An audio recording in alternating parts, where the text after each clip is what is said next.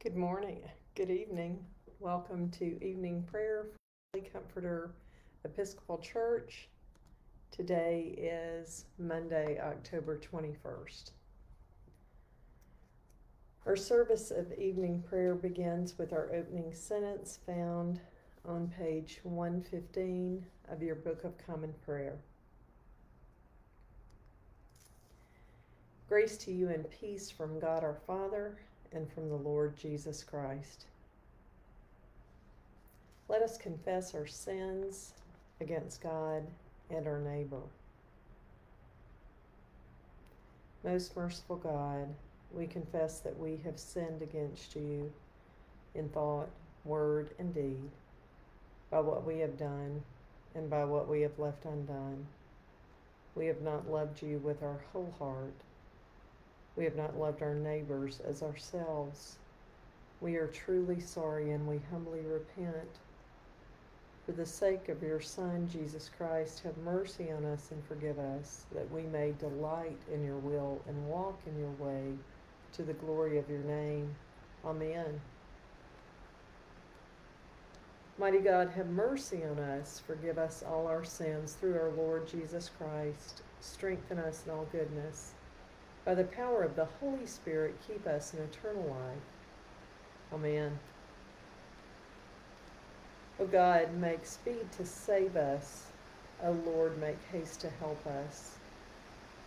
Glory to the Father, and to the Son, and to the Holy Spirit, as it was in the beginning, is now, and will be forever. Amen. Hallelujah. Let us together pray by reading the Phos Hilaron found on page 118.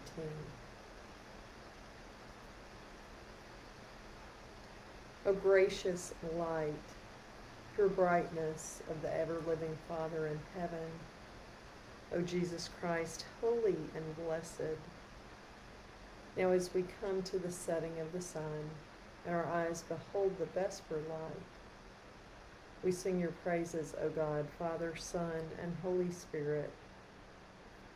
You are worthy at all times to be praised by happy voices. O Son of God, O Giver of life, and to be glorified through all the worlds. Glory to the Father, and to the Son, and to the Holy Spirit, as it was in the beginning, is now, and will be forever. Oh, Amen.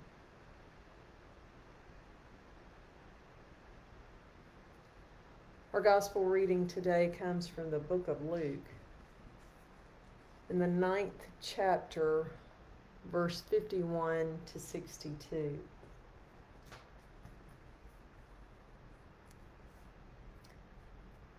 When the days drew near for him to be taken up, he set his face to go to Jerusalem and he sent messengers ahead of him on their way. They entered a village of Samaritans to make ready for him. But they did not receive him, because his face was set toward Jerusalem. When his disciples, James and John, saw it, they said, Lord, do you want us to command fire to come down from heaven and consume them? But he turned and rebuked them. Then they went on to another village. As they were going along the road, someone said to him, I will follow you wherever you go.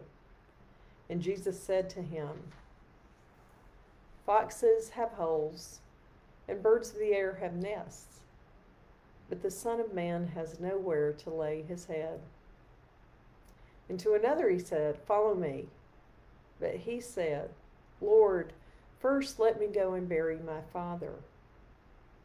But Jesus said to him, Let the dead bury their own dead. But as for you, go and proclaim the kingdom of God. And another said, I will follow you, Lord, but let me first say farewell to those at my home. Jesus said to him, No one who puts a hand to the plow and looks back is fit for the kingdom of God.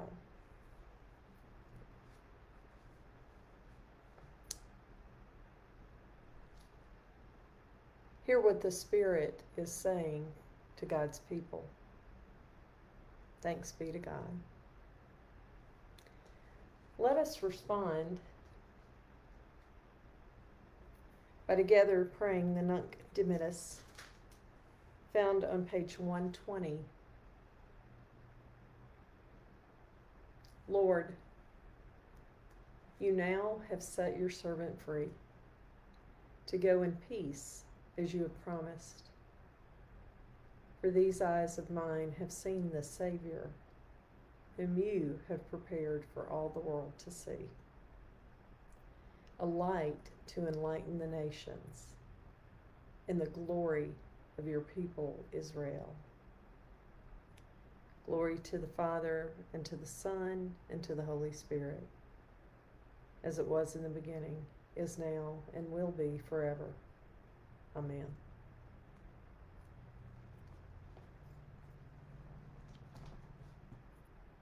So, this evening in Luke,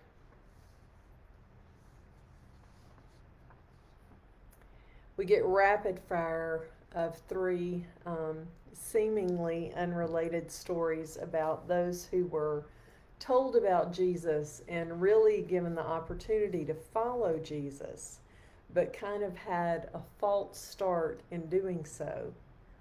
And while they may not really seem to relate to one another, we need to always remember that while the Bible is written by humans, um, actually a lot of humans over a lot of years, that inspiration of the Holy Spirit will always um, shock and amaze us, delight us. Um, here's a really good example of that.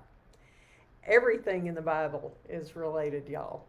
So I like to remind myself of this interconnectedness of this passage with a little bit of alliteration. So um, this is going to focus on the letter R. And I don't know why um, alliterations are just super fun and it helps me to learn. And because the Holy Spirit just made me this way with my brain. Um, but see, I loved Sesame Street as a kid, and there were alliterations all over the place there. So, an alliteration, just to take us back to grammar, literally grammar school, um, alliteration is where it has repetition of the same letter or of the same sound in connected words. So, like Sesame Street is an alliteration because the S's, or Big Bird because the B's. Um, so, I would like to offer what we have here in our lesson tonight is a resolute rejection, a rational rebuking, and a rescheduling reorientation. So, to explain, Jesus had entered this Samaritan village. Now, we've discussed in our prior um, observances of the morning and evening office um, prayers that Jews and Samaritans did not see eye to eye. And this is why the parable of the Good Samaritan was so powerful because the Samaritan, of all the examples, the Samaritan was the one who stepped up in neighborly love. But in this story, Jesus was not received in that village. Now, this wasn't so much of a surprise. Again, it was a Samaritan village, but we're given insight as to why. Verse 53 says, Because his face was set towards Jerusalem. Jesus was resolved in his passion toward Jerusalem in that eventuality. So we have a resolute rejection in the first part of the story. See my alliteration here. Okay, now we get a really odd reaction from James and John. And maybe we get a tiny glimpse into why Jesus came up with his nickname for them, the Sons of Thunder. Um, when they saw that this village uh, didn't welcome Jesus with open arms, the two of them, honestly, looking like they're a little, you know, full of themselves with their new ministerial gifts that they've been given by Jesus, they ask if they can rain down um, heavenly wrath to consume the villagers. Now, these men are admittedly a bit irrational. Ever the cooler head, you know, ever the one who's going to uh, take control of this situation and point out how um, inappropriate this is. And spoiler alert, this is not the only time that he's had to be the voice of the cooler head with them. Jesus speaks, right? And so this is our rational rebuking from Jesus in this portion of our lesson tonight.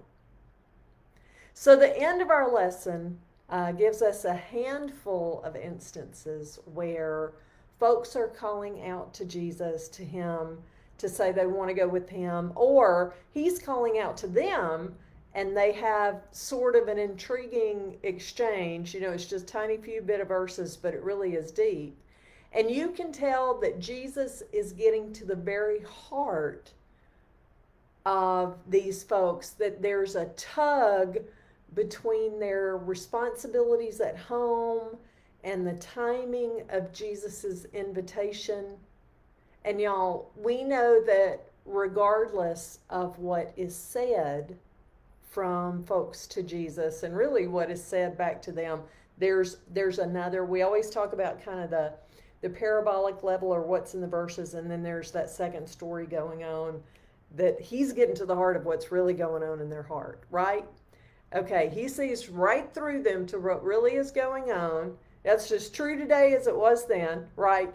And Jesus in verse 58 and 60 here, and really in 62, he's using hyperbole. You know, he's using that bigger bigger speech and um, you know we talked about even that when jesus says you know if your hand causes you to sin chop it off. He's not really saying chop limbs off guys. He's just using hyperbole there. Okay? But he's using that to hammer things home. It's this. When God gives you a call, gives you, um, you know, a message that there is work at hand, there's a plow right in front of you, there's a calling that He's given you, and there's a work that God has called you to, okay? There is no looking back. There is there is nothing greater than that. So nothing else takes priority. That is a kingdom of God orientation.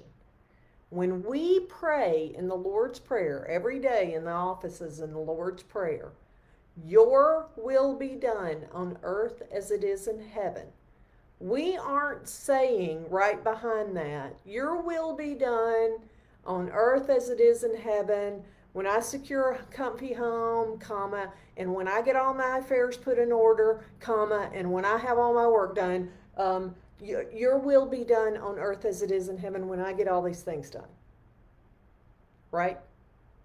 And that exchange is a rescheduling, reorientation that G- Jesus achieved with those folks. So, as followers of the way of Christ, in this short, you know, these short exchanges, when viewed together, they offer us a deep meditation on how to orient ourselves towards others and towards the work of the Lord that He calls us to. Amen. Let us together reaffirm our faith in the words of the Nicene Creed, found on page 120. I believe in God, the Father Almighty, creator of heaven and earth. I believe in Jesus Christ, his only Son, our Lord. He was conceived by the power of the Holy Spirit and born of the Virgin Mary. He suffered under Pontius Pilate, was crucified, died, and was buried. He descended to the dead. On the third day he rose again, he ascended into heaven, and is seated at the right hand of the Father. He will come again to judge the living and the dead. I believe in the Holy Spirit, the Holy Catholic Church, the communion of saints, the forgiveness of sins, the resurrection of the body, and the life everlasting. Amen. The Lord be with you and also with you. Let us pray. Our Father in heaven, hallowed be your name. Your kingdom come, your will be done, on earth as in heaven. Give us this day our daily bread. Forgive us our sins as we forgive those who sin against us. Save us from the time of trial and deliver us from evil. For the kingdom, the power, and the glory are yours now and forever. Amen.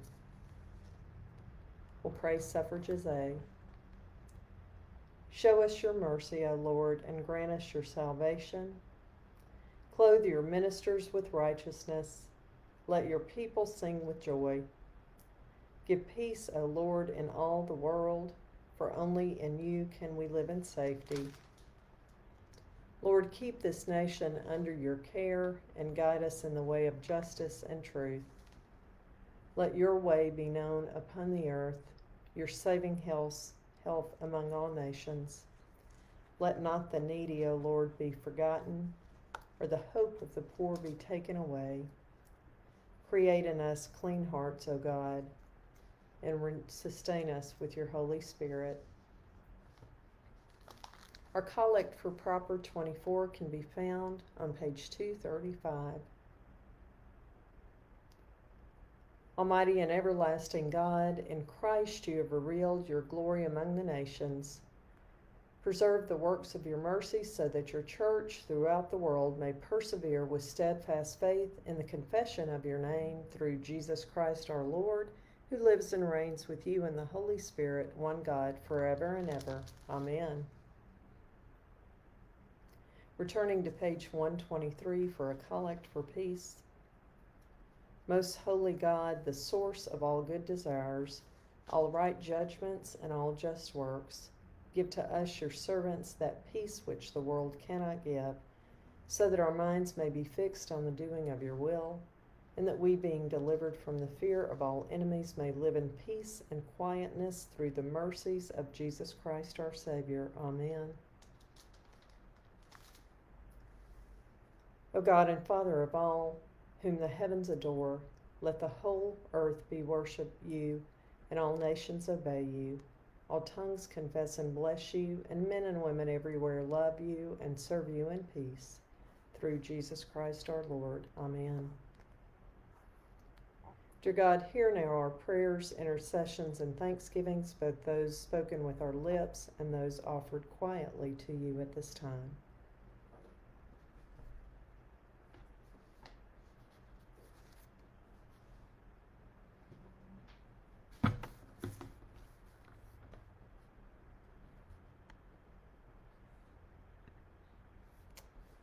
Looking to our chat, Lord, we pray and lift our prayers for Marcy. We pray for all of her caregivers.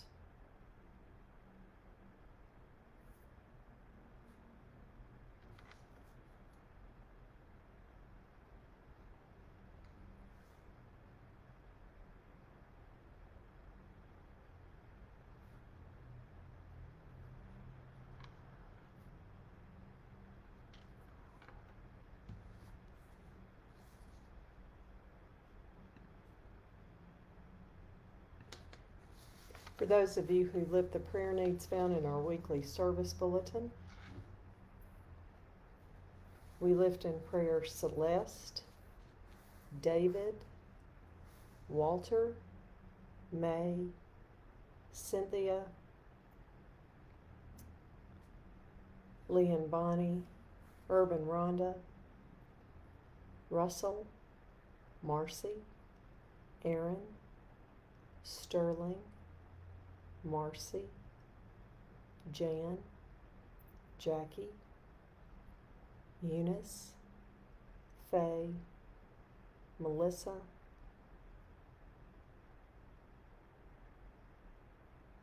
Suzanne, Nancy, Anna, Roberta, Diane, Leland, Maria, Anita, Val, Susie, Patsy,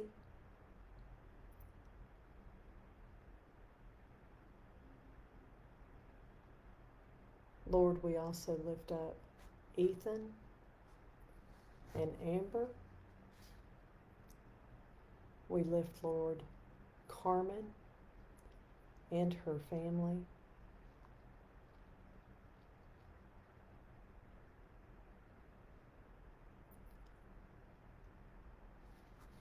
Lord, we also pray for ongoing prayers for Patsy and her animals.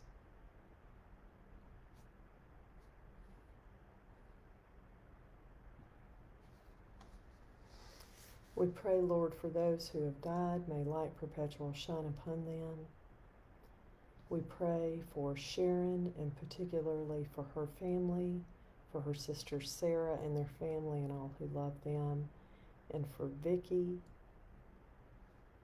and Kurt and their family and all who love her.